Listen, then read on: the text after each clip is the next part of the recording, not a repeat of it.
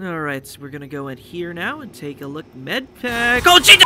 What the Welcome to Talos 1, where coffee cups are deadly, your memories shot to hell, and the space station ain't faring much better. If you're looking for some tips on how to survive beyond your first hour, you've come to the right place. This is the beginner's guide to Prey.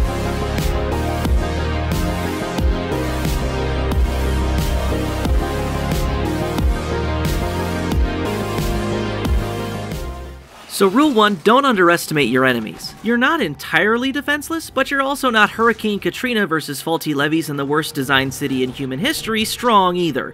When Prey tells you that you'll need your wits to survive, it means it. Getting a drop on enemies either by sneaking close or by distracting them to a dark alleyway in Jack the Ripper era London is the way to succeed. Running through and taking them all head on at the beginning will get your ass beat worse than an Antifa loser at a protest. Even low level mimics can make your health disappear if you're not smart, so to the dismay of your local barista, never trust a coffee cup. Serves you right for never saying my name correctly, Starbucks. How the fuck do you mispronounce Josh? Then we answer all of the questions differently, and we refuse to give an answer to the blot ink test. That way they can't make a psychological profile on us. What do you say to that, Doctor? Oh, you did. I'm gonna take your body. Rule 2 use your neuromods. There isn't like a set number of neuromods in the game. You can actually craft them later on at any fabricator you find. Prey doesn't exactly make that clear at the beginning though, which may lead you to hoard your neuromods like my cat hoards toys behind the dryer, where they then caught on fire and well, anyway, if any of you have a couch I could crash on or know somebody interested in a cat with an arson obsession, I'd really appreciate it. There's really no wrong way to upgrade at the beginning, just take whatever sounds good.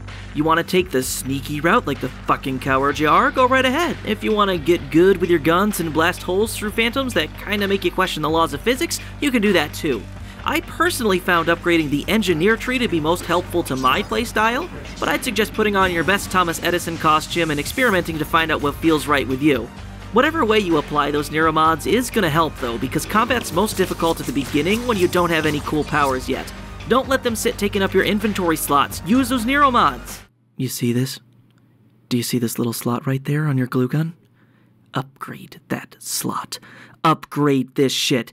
Upgrade this fucking slot! Rule 3 Do the glue. So, do you all remember back in first and second grade art class, there was always that one kid that was obsessed with smelling glue for his first high?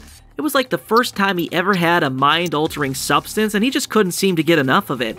He then later went on to become the stereotypical partier at your high school, but always seemed to be pushing it just a little too far and made everyone else uncomfortable at parties by drinking, smoking, and snorting everybody, and I mean everybody else under the table. And now he's in jail for like ever because he went on to develop a crippling drug addiction and ruined his fucking life? Well, take a page out of his playbook and make abusing, I mean using glue, your top priority. Fire like a madman with the stuff in combat. Losing track of even one enemy can spell disaster D E A T H. And the jumpy little bastards don't exactly make it easy to get coated in your definitely not cum gun with the way they turn into trash cans behind your back or just simply face shift right in front of your face and bitch slap you. The more you shoot, the longer the alien scum will line up nicely for some headshots. Just watch out for those energy beams they shoot.